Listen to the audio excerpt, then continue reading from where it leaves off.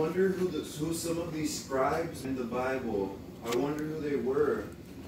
No, you don't have to wonder. Oh, The uh, Ezra was one of them. Masoretes, Ricky, were scribes from the, that wrote The Nazarites? Masoretes. Oh, man. What? I don't either. I'm gonna Okay, I think I will, okay, I think if you, So now I need a. They're gonna be snacks, I know that, because she gave a bunch of snacks to the other thing, here's one last. Yeah, yesterday. I think you you give me your numbers. I was right, it's all Probably.